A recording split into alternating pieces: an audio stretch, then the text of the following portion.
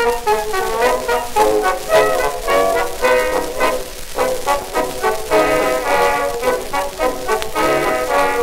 friend Jonesy, he got married just the other night.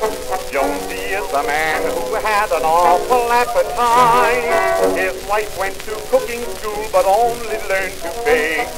When about his meals, he says, John, for goodness sake, just cut yourself a piece of cake and make yourself at home. I'm sorry that I can't cook steak, but cake is so high tone.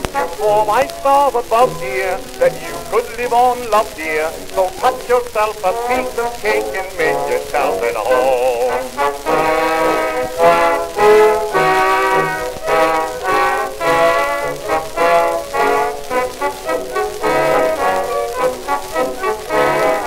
Once a week at Jonesy's house, the poker players meet. After playing cards for hours, they all want to eat. One more deal and then we leave, they hear his wifey say.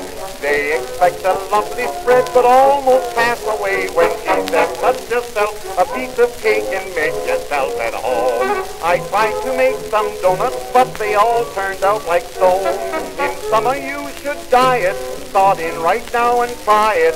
So cut yourself a piece of cake and make yourself at home.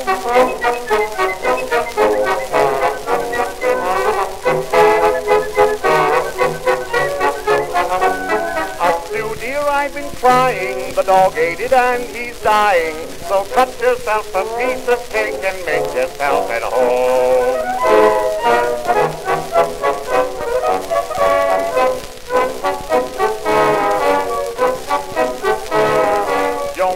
Home the other night and said, I've lost my job. We can't pay the rent, sweetheart, unless some bank I rob. The landlord said he'd call tonight because the rent is due.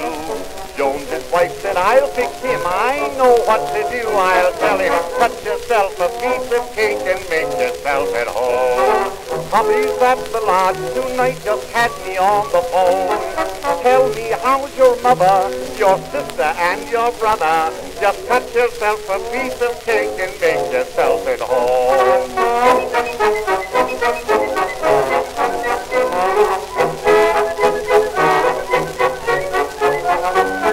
Raw beefsteak and cabbage, I'm afraid will make you savage. So cut yourself a piece of cake and make yourself.